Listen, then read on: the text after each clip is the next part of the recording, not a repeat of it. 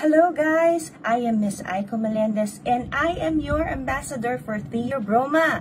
And I'd like to welcome all the distributors of F2N. Welcome po to our family, to our growing family. And just to assure you that you made the right choice of choosing Theo Broma and F2N. Why?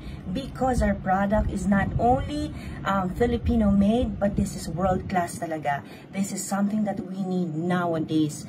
Now that we are facing facing a pandemic, you know, we need to um, boost our immune system. And Theobroma can help us boost our immune system.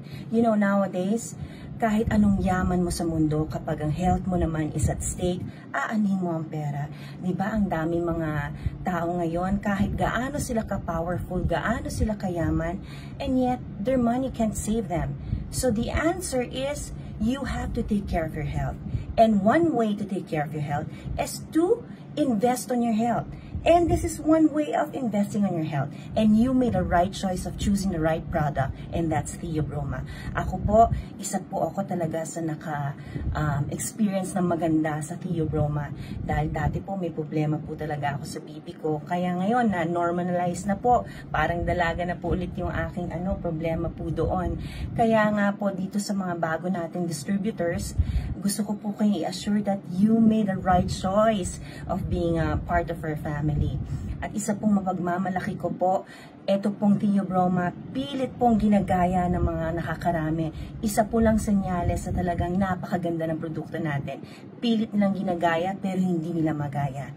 Kaya nga po sa mga distributors natin, ngayon po ang pinaka-best time na ikalat po natin, hindi lang sa pamilya natin, sa mga kaibigan po natin, kundi sa buong mundo kung gaano po tayo kapalad na may isang produkto na kagaya po ng Theobroma na makakatulong po upang magpagaling sa mga sakit po.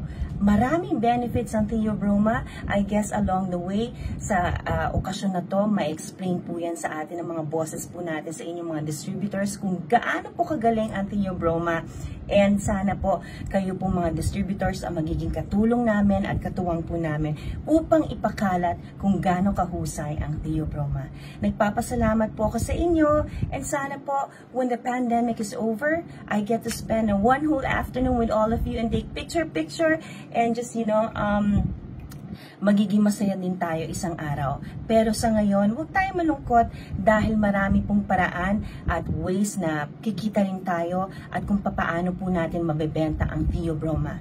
Kaya nga gaya ng sabi ko, this um, convention that you have today, may explain po sa inyo na kahit online po, mabebenta nyo po at magpapakalat kung gaano kagaling po ang Theobroma. Again, welcome to the growing family of F2N. God bless you all. Stay safe at the best ang F2N at ang Theobroma.